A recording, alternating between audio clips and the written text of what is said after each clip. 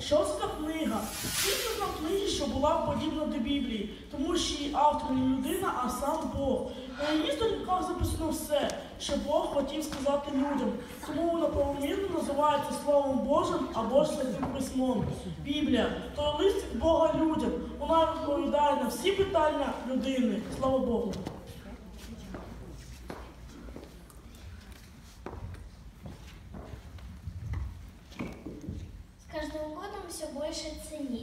Начинаешь. Твое слово святое, Господь мой и Бог. Когда, кажется, я подошел уже к краю, в сердце слово струится, как мощный поток. Пыльный верья смывает поток этот дивный, орошает просторы иссохшей души. И мне хочется вновь петь победные гимны и молиться тебе в предрассветной тиши. Твое слово подобно мечу, если нужно, в то же время оно животворный бальзам. Никого не оставит оно равнодушным, открывая единственный путь к небесам. Твое слово меня утешает так нежно и так строго. Порой обречает оно, как ко мне твоя милость.